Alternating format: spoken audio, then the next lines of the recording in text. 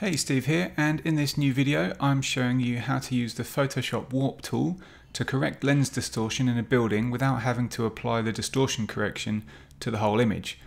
Because when you use something like the lens correction filter and you correct your wide angle distortion then you end up quite often having to crop out quite a lot of your image around the edges when you fix those uh, dodgy lines.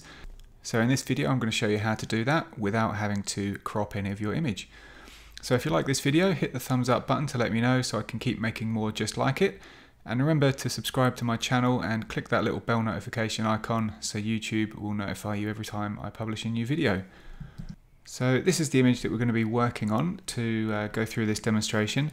And as you can see, because I was quite low to the ground and I was using a really wide angle lens and I've got quite a lot of sky in the image, the camera was obviously pointed up quite a lot. And that pointing the camera up towards the sky, that kind of exacerbates the uh, the lens distortion and those lines in the building here. So obviously you can see they're not straight up, they're kind of leaning in towards the center of the image.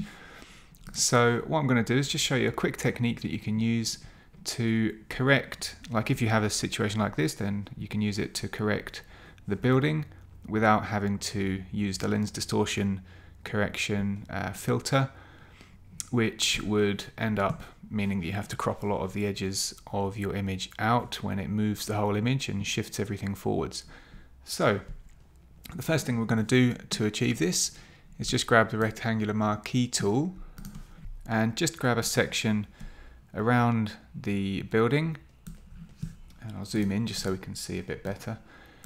And what we're going to do is just copy and paste this. So I'm going to press command or control C on the keyboard and then command or control V to paste. And now we've got layer 1 here which is just this little section. And so now I'm going to use Photoshop's warp tool by going to the edit transform and warp menu item. And that brings up this grid.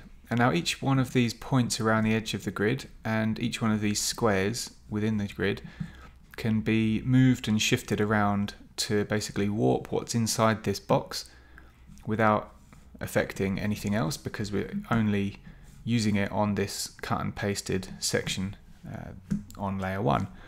So, you know, there's no definite sort of surefire set of um, movements or set of adjustments that I can give you that will work for your particular image. You just have to kind of experiment. But this is the general idea, and this is what I'm going to do to fix this one. So I think obviously this is leaning towards the left. So we need to get it to shift a bit towards the right. So let's start moving some of these control points towards the right and just kind of see what happens really. Now, just kind of shifting these all around. It's a bit of a trial and error process, but you know, have a play and you'll get the hang of it quite quickly, I think. So just moving these around. I mean, I'm only using these little control points on those intersections on the outside at the moment. Um, but what you can do if you want is just like grab a square and shift it around and everything around it moves with it. So yeah, like I said, just have a play with that and see what works best. Um, but I think already we're at a pretty good stage here. So I'm just going to hit return on the keyboard and compare the before and after on this.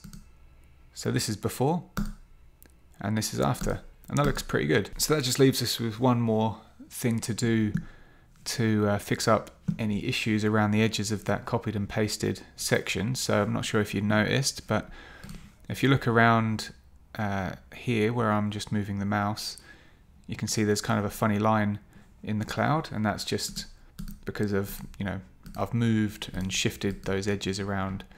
And so I just need to add a layer mask to this I'll grab a, a brush tool with a black foreground color and just going to brush that out. So with 100% softness, um, well 0% hardness I should say, on the brush, then that allows you to just softly blend those edges out and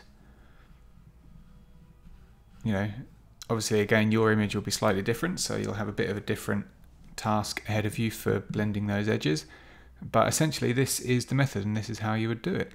So, just a quick tip really for you today. I hope you enjoyed this one and you uh, can use it at some point in the future. So, with that said, thanks for watching. I'll see you next time. Cheers.